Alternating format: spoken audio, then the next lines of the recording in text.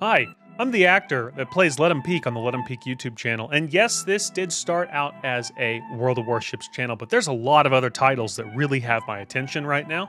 So I haven't been picking up the controller playing Legends all that much. But since I am the largest creator for tutorial content that this game's ever seen, and it's not even close, we have helped tens of thousands of people answered thousands of questions, hopefully improve the player base. Since I don't play this game that much anymore, will it ever disappear? I doubt it.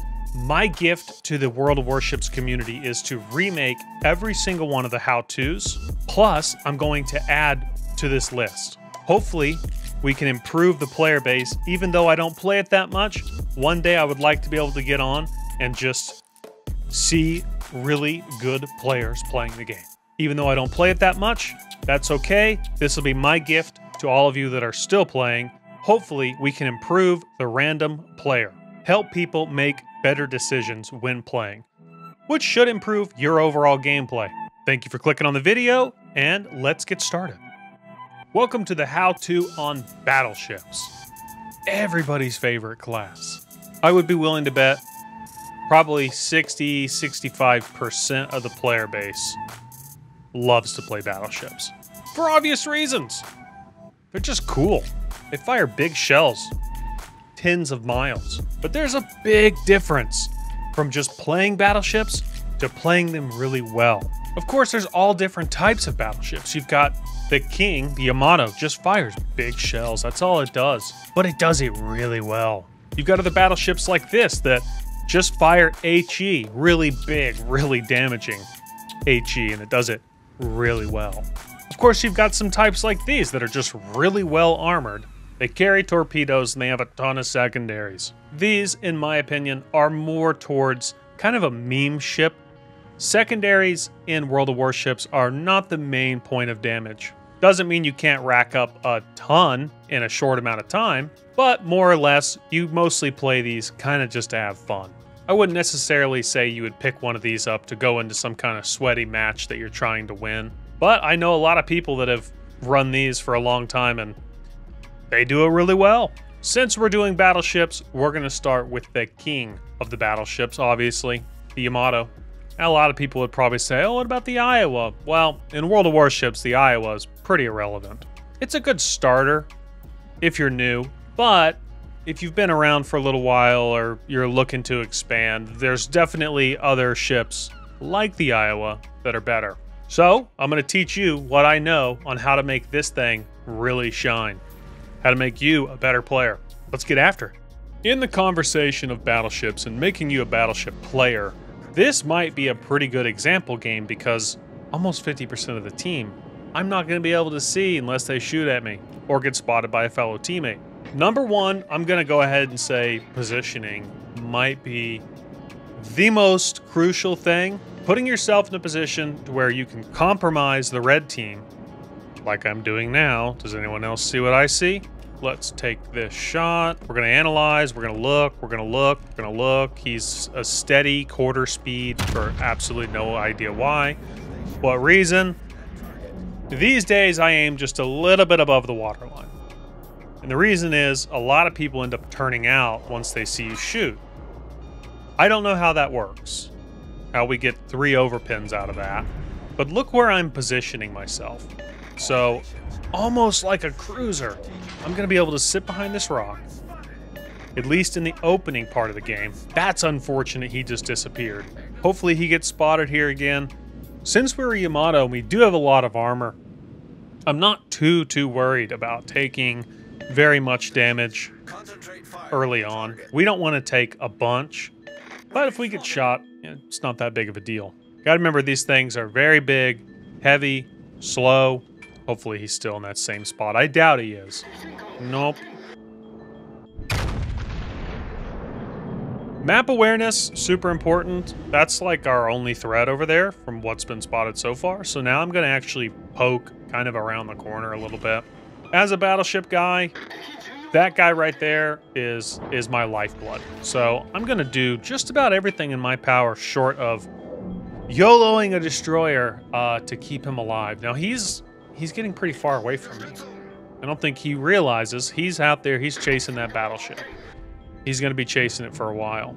That's the wrong move for him. He's overextending himself to where he really he can't be helped right now. If he was to get into an engagement with someone that could kill him, I couldn't help him. Knowing that I'm not spotted here, take a look where I'm on the map. Look at the minimap. As a battleship player, I stare at that minimap almost 24 7. Minimap is your lifeblood to information. Information is key, and that's what keeps you alive. Since I'm not spotted here, I'm gonna move up a little bit. I'm gonna I'm gonna acquire a little bit of the ground that's kind of in between. We're gonna watch, we're gonna wait. That guy's also moving up. We lost our gearing over there, which means the red team now owns the right side of the map. They're 100% going to come through this corner. Our Kleber is still chasing damage, which is pretty unfortunate. We knew they were going to be here. You can see I'm already angled. This guy was not expecting me to be here. Power of being unspotted, and hopefully we get a sizable little chunk. We get a sizable chunk. There's two unspotted destroyers over there. Now, sometimes they will just YOLO you, and there's nothing you can really do about that. See how I'm, that third gun? Holy.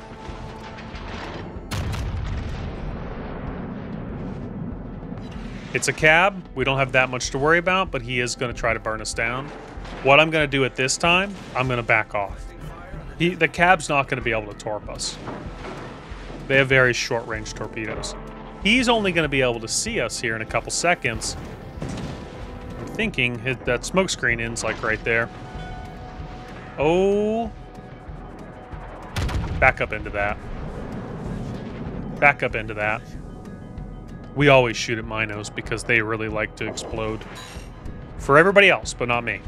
Note how now I'm using this island. I'm backing up here. I'm using this island to disengage. That is interesting. That tells me the other destroyer somewhere in that lane. I wonder if this guy's going to delete him. Or if I'm going to delete him. We're going to pop the plane. This guy's on the gas pedal. Oh, I clipped that rock. That's... Oh, he's dead. It's kind of unbelievable that he's alive. Back gun? Maybe? Can I get a lucky one? That guy absolutely can torp us. Hold on, see, there's a cab. That's our primary objective, is to kill the destroyers, especially if their name is Khabarovsk.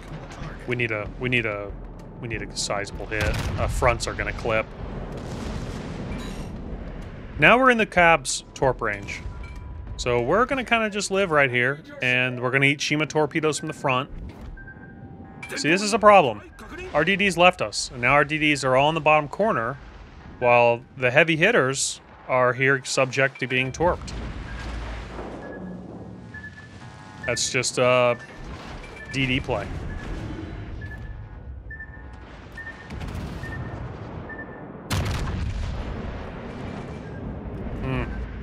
This is tough. This is tough. Oh, that guy dies. That's huge. We gotta watch out, because that cab is still on the backside of this rock, so keeping your situational awareness. My buddy here is dead. I almost want to keep the front guns loaded and not shoot at this guy, because I'm currently worried about a Khabarovsk coming around this corner and YOLOing me. Okay, he's right there. So now, these guys can fight instead of me. Nice. That's very good for us. I'm going to move up. I'm going to move up and see if I can't catch something like that. In the gap. See smoke's coming out of his smokestack, so he's moving. He was previously stationary. He threw it back and forward. We are just not getting any good hits with this thing. Yama's kind of letting me down right now. Fighting a GK, you need to understand, he's got crazy good armor. But there's a weakness in his armor. And if we can exploit that weakness, we can kill him. Let's talk about this third gun angle. See that? Where I don't have the back gun online, there are the back guns online. He's not going to be able to do very much damage to me in that state with that angling. Yes. Right where we want to hit him. So you want to hit him right about there. So in front of that third turret, and this guy's, he's, this guy's lost the war. See, his secondaries are hitting me. They're not really doing that much. I'm bow on now. There's nothing this guy could do. He had to turn for torpedoes. We're to go right through that back plate. Same spot. There you go. Damage on the fire. Pop the last heal. I do like to keep the last heal. So that's something a lot of people have noticed. When I play battleships, I like to hold on to that last heal. Just in case I get in a situation where I have I have will to rebuild and it's not quite enough and I'm lit on fire and I can pop that heal and supplement my HP a little bit. If you don't die this time,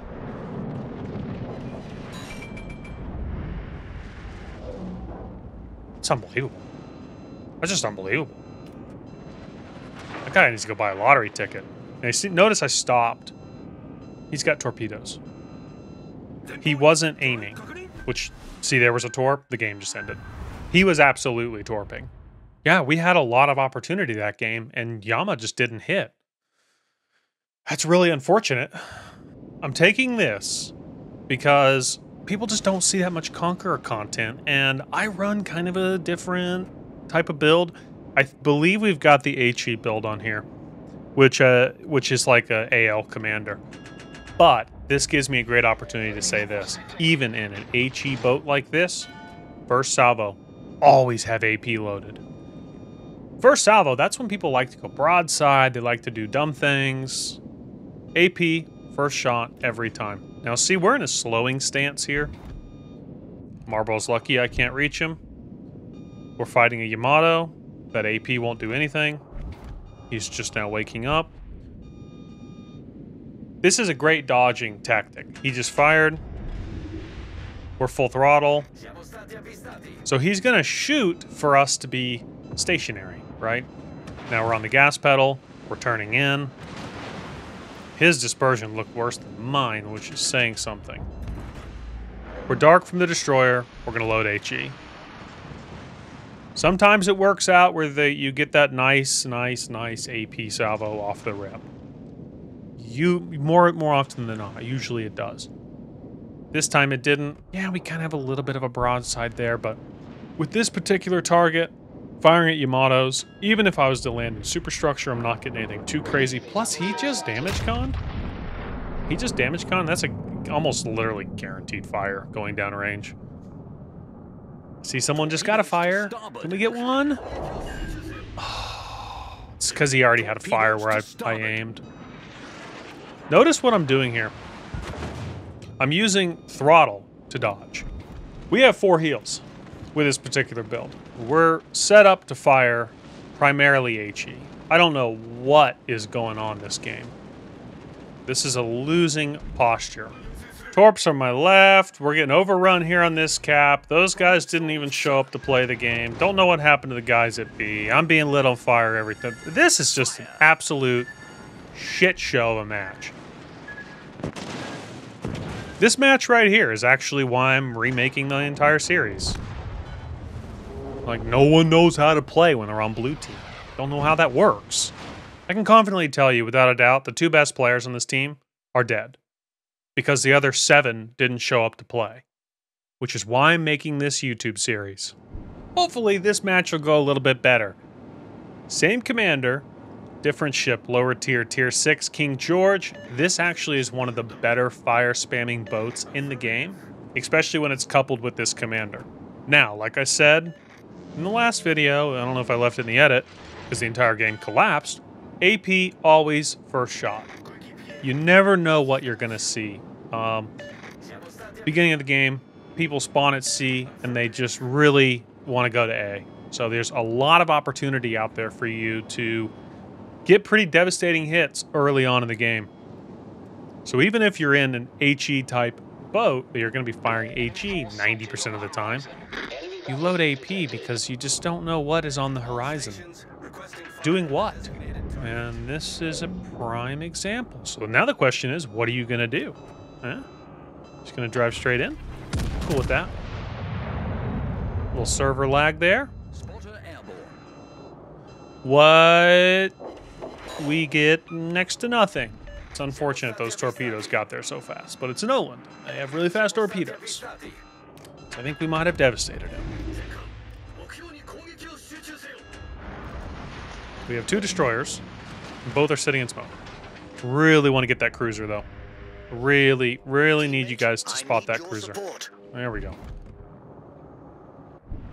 What are you doing? What are you doing, Chief?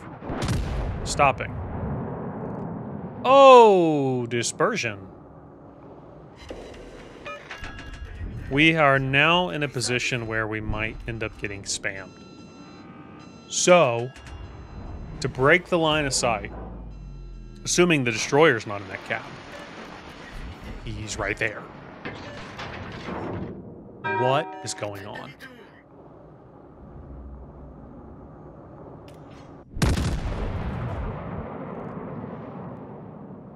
Try to save the destroyers. Oh my, what is this dispersion? I promise I'm not I'm not running an anti-dispersion build. Hit it with torps. Thank you. At least light a fire. Oh, dispersion's significantly better with HE. Just doesn't make much sense. Unfortunately, he's going to be out of range, so we don't light a fire anyways. Notice how he's shooting at me. I immediately pulled forward. See how shots came from over there? Movement, more often than not, will end up saving a lot of your HP. Maybe, maybe we get a good hit with HE. I don't know. Not really. Three hits for 3k. It's not a whole lot. So far, I'm fairly unimpressed with the uh, the King George. I'm going to try to spin where we can kind of sit like a cruiser and lob this corner. Try and get some fires going. It's kind of what this ship is designed to do, is get fires going. Remember, keep your situational awareness. Don't know why our Myoko was headed straight into the cap. All these battleships around. Not a smart play. Don't do that. Something probably worthy of mentioning. Take note of my positioning here. Okay, he did damage con. So, hopefully we can lob. You won't ever find me or pretty much any other decent battleship player that far away from hard cover in this game. Because having the ability to disengage, go dark, even use island cover to block potential incoming damage, that's just how you live longer in this game. The longer you live, the better you are for your team. Aim up just a touch. Rifle. Come on, permanent fire. I believe in you. I believe in you, King George. Okay, now I'm going to try and keep this island between me and him so I can stay unspotted. And in doing so, I'm going to move into Bravo.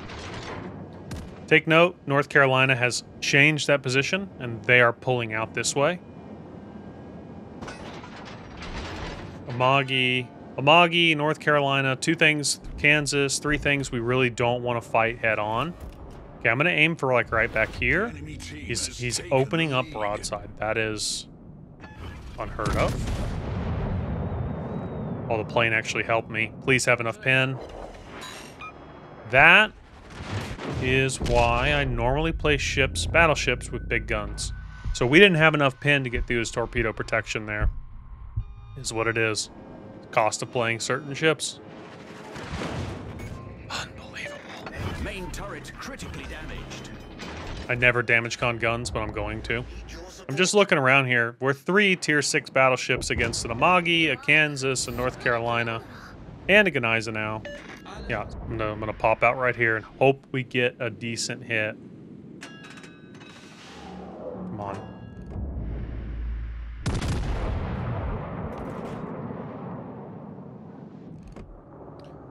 If I can potentially kill this one guy, uh, I might be able to help our destroyers kind of curve the battle a little bit.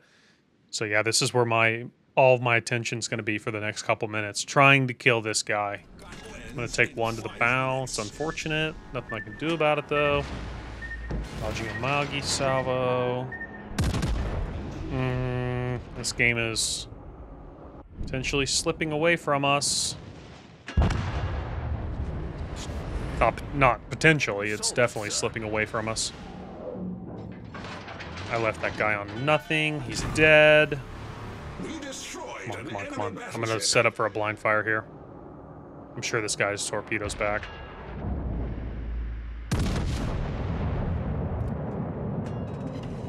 Okay, a little something, not much. In the in the realm of not good, uh, this is pretty high up on it. Oh yes, that's good. Hopefully these don't arm. Don't arm.